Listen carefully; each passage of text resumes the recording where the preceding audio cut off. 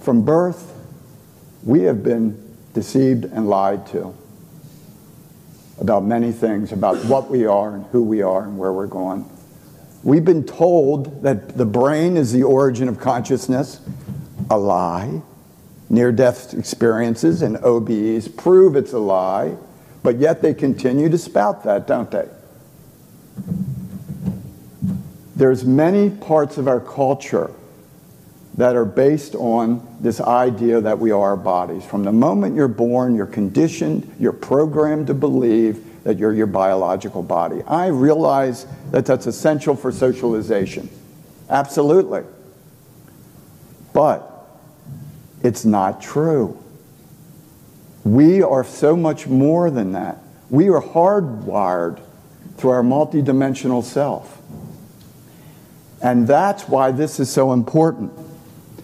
So, why are OBEs important to you? This is just a small list.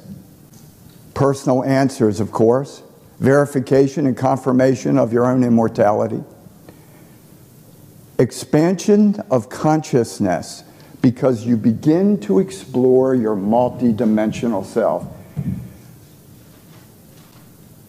There are hundreds, possibly thousands of serious explorers out there that have been charting the universe now for decades. Generally, they, they don't stand in front of groups like this and talk. They, they keep it to themselves. But at the Monroe Institute for 45 years and at other places, there have been serious explorations going on into the nature of reality and the nature of the universe and how we fit within it. What are we? Everybody assumes the answer. The answers are far more wonderful than anything that we've ever learned throughout our lives.